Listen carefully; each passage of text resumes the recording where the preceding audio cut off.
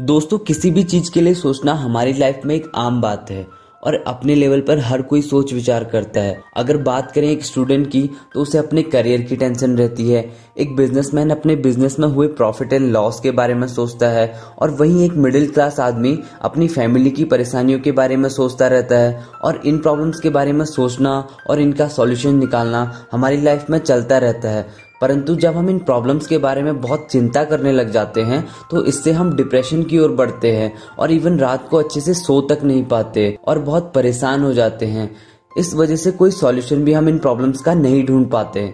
बहुत से लोग अपने पास्ट को कोसने लग जाते हैं और अपने फ्यूचर्स के बारे में चिंता करने लग जाते हैं। उस फ्यूचर के बारे में जिसके लिए उनके पास कभी कोई प्लान ही नहीं होता और इस चिंता में अपने प्रेजेंट को भी नहीं जी पाते। इसलिए दोस्तों, आज मैं इस टॉपिक पर बहुत famous book how to stop worrying and start living से कुछ प्रैक्टिकल टेक्निक्स के बारे में बात करने वाला हूँ। ये बुक डेल कार्नेगी ने लिखी है।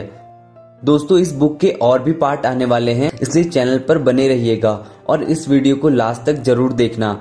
आई होप कि इस वीडियो के बाद आप अपने प्रॉब्लम्स को एक बेहतर तरीके से समझने की कोशिश करेंगे। Live in the tight compartments second world war के टाइम पर टेड वेंजरमिनो एक ऐसी पोस्ट के लिए काम कर रहे थे, जिसमें उनको मरे हुए लोगों का डेटा रखना होता था और उनकी लाशों को उनके घर वालों तक या फिर उनके रिश्तेदारों तक पहुंचाना होता था और जो लोग घायल हो जाते, उनको हॉस्पिटल तक पहुंचाना पड़ता था। तो इन सब चीज़ों को लेकर वो बहुत डरने लग गए थे कि वो इस काम को अच्छे से कर पाएँगे या नहीं और सोचने लग गए थे कि क्या वो अपने 16 महीने के बच्चे से कभी मिल पाएँगे या नहीं, जिसको उन्होंने अभी तक देखा भी नहीं था। तो इन सब परेशानियों के चलते उनकी हालत बहुत खराब होने लगी। वो बहुत कमज़ोर हो गए थे और उन्हें लगने लग गया था कि वो दोबारा से कभी ठीक नहीं हो पाएँगे। तब इस दौरान उन्हें एक आर्मी डॉक्टर ने सलाह दी कि तुम्हारी हालत बस मेंटली तौर पर खराब है। डॉक्टर ने टेड से कहा कि तुम अपनी लाइफ को एक आर ग्लास की तरह समझो मतलब एक रेत की घड़ी की तरह, जिसमें से धीरे धीरे रेत के कण घड़ी के टॉप से बॉटम की तरफ़ जाते हैं। अगर तुम और हम चाहेंगे भी तब भी हम एक टाइम पर एक से ज़्यादा रेत के कण पास नहीं करा सकते, बिना उस घड़ी को नुकसान पहुँचाए हुए। तब डॉक्टर कहते हैं, हम जब सुबह उठते हैं, तब हमारे माइंड में बहुत सारे विचार आते हैं कि हमें ये भी करना है, वो भी करना है। हम सब टास्क को एक साथ पूरा करने की सोचते हैं और इस चक्कर में एक भी काम पूरा कर नहीं पाते और ना ही उसको करने का डिसीज़न ले पाते हैं और मेंटली एंड फिजिकली ब्रेक होने लगते हैं। बट अगर हम एक टाइम पर एक टास्क को करें जिस तरह उस आवर ग्लास में एक एक करके रेत के कण नीचे जाते हैं तो हम सारे टास्क को धीरे धीरे पूरा कर सकते हैं।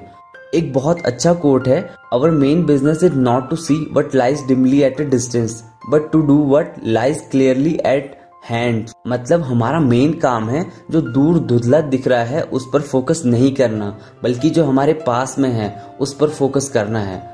हम में से मैक्सिमम लोगों को यही लगता है कि काश मेरी सारी परेशानियाँ एक साथ दूर हो जाती, मेरे सारे काम हो जाते और इसी चक्कर में एक काम को पूरा करने का डिसीज़न भी नहीं ले पाते। इससे बस स्ट्रेस बढ़ता है और काम भी नहीं हो पाता। इसलिए हमेशा कोशिश करो कि एक टाइम पर सिर्फ़ एक टास्क को पूरा करने का गोल सेट करो। The magic formula for solving worry situation William H Carrier एक ब्रिलियंट इंजीनियर थे। जिन्होंने एयर कंडीशनिंग इंडस्ट्री को लॉन्च किया और न्यूयॉर्क में वर्ल्ड फ़ेमस करियर कॉरपोरेशन को चलाया। जब वो यंग थे तो एक बुफालो फोर्स कंपनी के लिए काम करते थे। तब उनके कंपनी द्वारा एक डिवाइस इंस्टॉलमेंट का असाइनमेंट दिया गया। वो डिवाइस उन्हें पिट्सबर्ग प्लेट ग्लास कंपनी में इंस्टॉल करनी थी, जो गैस क्लीनिंग में काम आती थी। तो उस असाइनमेंट के दौरान उन्होंने डिवाइस को इंस्टॉल तो कर दिया था और वो डिवाइस काम भी कर रही थी, पर वो डिवाइस उनकी कंपनी के गारंटी के अनुसार काम नहीं कर पाई। तो इस बात को लेकर विलियम बहुत परेशान हो गए थे।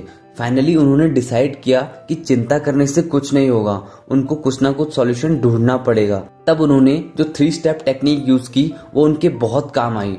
और बाद में उस टेक्निक्स को वो लाइफ के हर बड़ी सिचुएशंस में यूज़ करते थे। तो स्टेप नंबर वन है प्रॉब्लम को बिना डरे हुए, ईमानदारी और पूरी सच्चाई के साथ एनालाइज करो और सोचो कि इस प्रॉब्लम से सबसे बुरा तुम्हारे साथ क्या हो सकता है। विलियम बताते हैं कि इस प्रॉब्लम से उनको ना कोई जेल भेजने वाला है और ना ही कोई उन्हें गोली मारेगा। पर हो सकता है कि उनकी जॉब चली जाए या फिर कंपनी को वो डिवाइस हटानी पड़े और जिससे उन्हें बीस हज़ार डॉलर का नुकसान होगा।